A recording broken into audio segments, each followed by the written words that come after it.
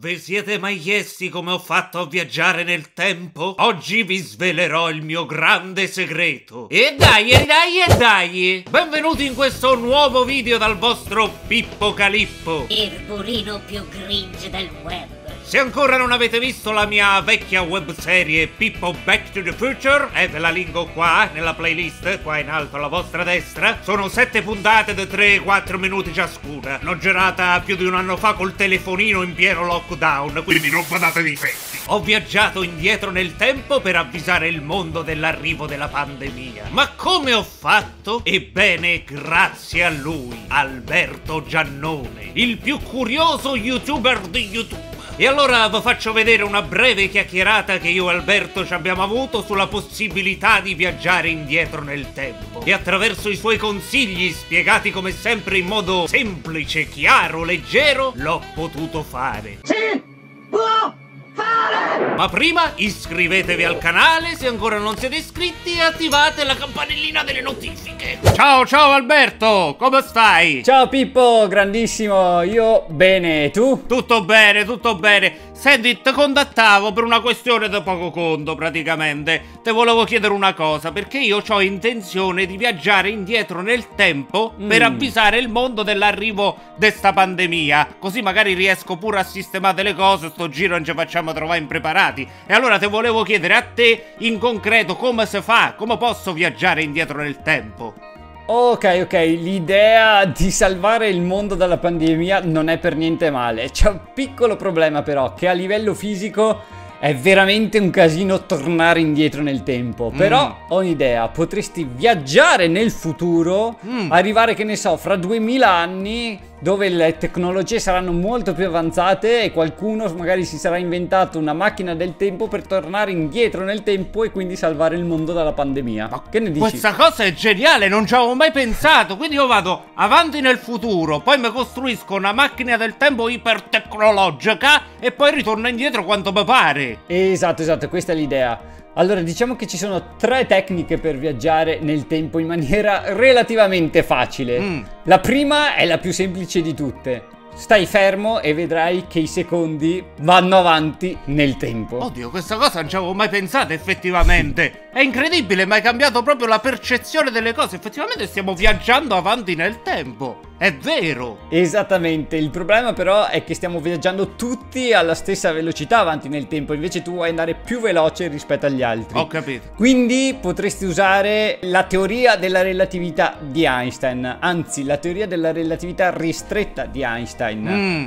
E qui la teoria ci dice che un corpo se va molto vicino alla velocità della luce, per lui rispetto agli altri il tempo rallenta e quindi stai viaggiando letteralmente nel futuro. Ho capito. Vabbè, e quindi praticamente è come quando anche viaggi nell'aereo. In aereo, no? Sì, è vero, succede anche quando viaggi in aereo o anche quando corri o vai in macchina. Il problema è che sono velocità troppo lente per sentirne l'effetto. Mm. Vai avanti nel futuro di qualche miliardesimo di secondo, ma se vuoi andare avanti di anni, beh, devi andare proprio vicino alla velocità della luce, quasi a 300.000 km al secondo. Mamma mia, è tanto 300.000, oh. Io, io non lo so, eh, volevo andare avanti nel tempo più o meno di, di- di 2000 anni. Eh, penso che sia sufficiente 2000 anni avanti. Poi non so se il mondo ancora ci sarà, però una cosa del genere, che ne pensi? Quanto, quanto, quanto devo andare veloce? Sì, è bella alta come velocità, però diciamo che è più facile costruire una navicella che vada a quella velocità piuttosto che creare una macchina del tempo che vada indietro nel tempo. Ho capito. Comunque, facendo un- rapidi calcoli, se vuoi andare avanti di 2000 anni, facendo un viaggio nello spazio per circa una settimana soltanto, beh, dovresti andare alla velocità molto molto simile a quella della luce, quindi il 99,99999999% della velocità della luce. Ammazza, oh quanti 9. Vabbè, ho capito. Quindi, vabbè, praticamente allora io costruisco sta navicella eh, sp spaziale super potente. Vado a sta velocità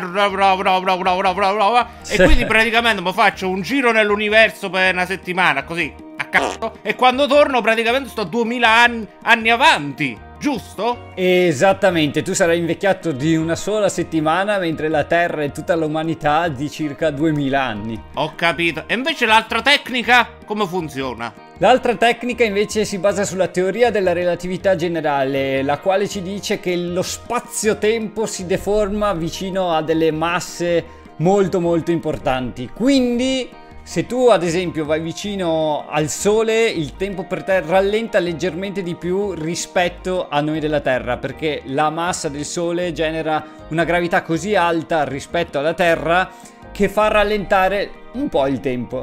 Ma se vuoi andare veramente nel futuro e quindi avere il tempo tanto tanto tanto più rallentato, beh ti consiglio di andare vicino ad un buco nero. Un buco nero? Ma scusa, un buco nero si dice che poi quando finisci in un buco nero è finita perché praticamente te lo succhia e che ci ritorna più indietro. È macello. Hai ragione, hai ragione, hai ragione. Infatti non ti consiglio di andare dentro un buco nero, mm. ma appena fuori. Infatti diciamo che c'è un limite, si chiama orizzonte degli eventi. Se tu stai fuori da questo orizzonte degli eventi, beh, e i tuoi motori sono abbastanza potenti per scappare dalla gravità del buco nero, allora puoi appunto farcela. Se invece superi anche di poco l'orizzonte degli eventi, beh, non farai mai più ritorno.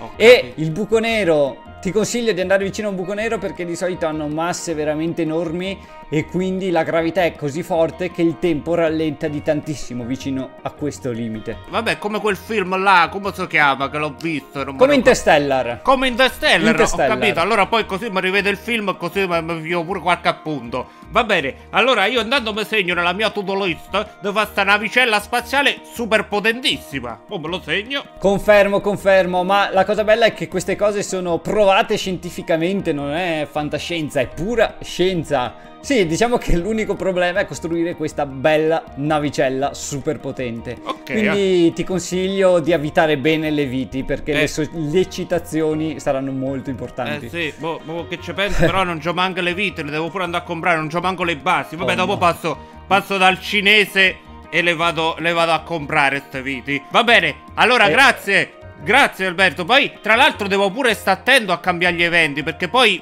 Basta che cambia una piccola cosa e succede un macello, giusto? Soprattutto se vai nel passato, allora sì, possono succedere un sacco di paradossi. Ad esempio, se per sbaglio fai un incidente con tuo nonno e lui muore, cosa accadrà a te? Scomparirai all'istante oppure no? Si aprirà un universo parallelo dove ci sarai tu, ma non ci saranno più i tuoi genitori o non si sa cosa accadrà?